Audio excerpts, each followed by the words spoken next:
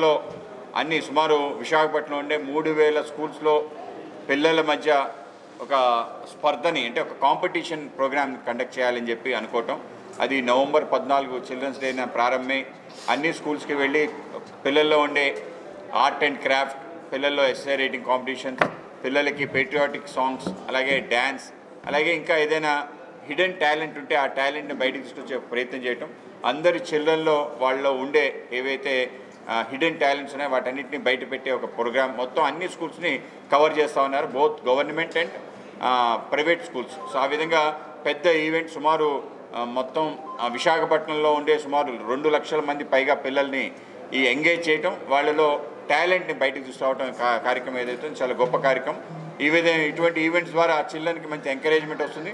అలాగే వాళ్ళు ఉండే ఏదైతే టాలెంట్ ఉందో బయటపడుతుంది. అలాగే స్కూల్స్ కూడా ఇది ఒక మంచి అవకాశంగా తీసుకోవాలని చెప్పి ఆ విధంగా ఈ యొక్క ఈవెంట్ ఆల్రౌండ్ సక్సెస్ అవ్వాలని చెప్పి ఈవెంట్ ద్వారా ఈ ఈవెంట్ మేనేజర్స్ కూడా మంచి పేరు రావాలని చెప్పి అలాగే అనేక మంది చిల్డ్రన్ ఎవరైతే ఉన్నారో వాళ్ళు బయటకు వచ్చి మిగతా ప్రదేశాలకు వెళ్ళి ఇండియా మోస్ట్ టాలెంట్ అలాగే మిగతా దేశాల్లో అనేక ఈవెంట్స్లో వాళ్ళు పార్టిసిపేట్ చేయడానికి అవకాశం ఉంటుందని చెప్పి ఇది ఒక టాలెంట్ హంట్గా నేను భావిస్తాను. ఆ విధంగా ఈవెంట్కి all the best and success కూడా ఈ సందర్భంగా తెలియజేస్తున్నాను. దాని ద్వారా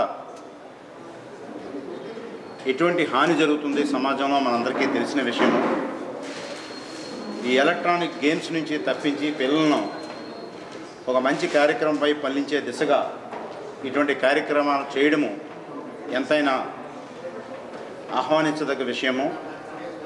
మరి వీరు చేయబోయే కార్యకలాపాలు చూసినట్లయితే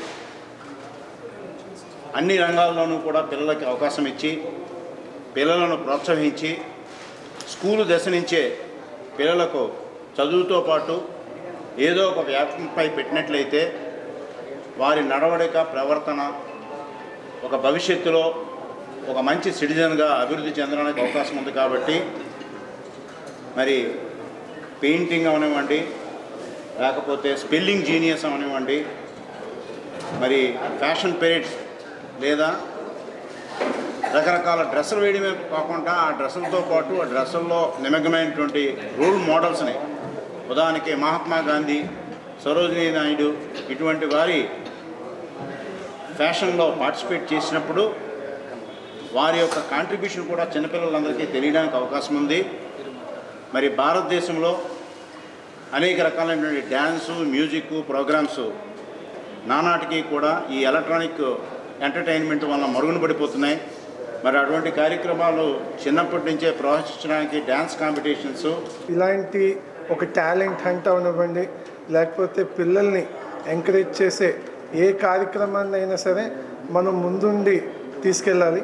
ఈ ఫిస్కా వాళ్ళు ఇక్కడ విశాఖపట్నాన్ని ఎంచుకొని ఇక్కడున్న దాదాపు మూడు వేల స్కూల్స్లో అందరికీ కూడా ఒక అవకాశం ఇచ్చి అంటే ఒక ఇంటర్ స్కూల్ కాంపిటీషన్స్ లాగా పెట్టి ఎందుకంటే ఇందాక పెద్దలు చెప్పినట్టు స్లమ్స్లో స్కూల్స్ ఉంటాయి లేదా వేరే దగ్గర పెద్ద స్కూల్స్ ఉంటాయి.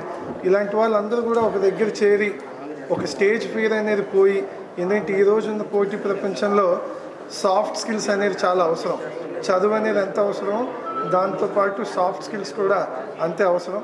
ఇలాంటి ఏవైతే కాంపిటీషన్స్ ఎస్ఏ రైటింగ్ అవనివ్వండి లేకపోతే సింగింగ్ అవనివ్వండి ఇతర కాంపిటీషన్స్ ద్వారా ముందు వాళ్ళకి స్టేజ్ ఫియర్ అనేది పోయి వాళ్ళకు ఒక కాన్ఫిడెన్స్ అనేది బిల్డ్ అవుతుంది.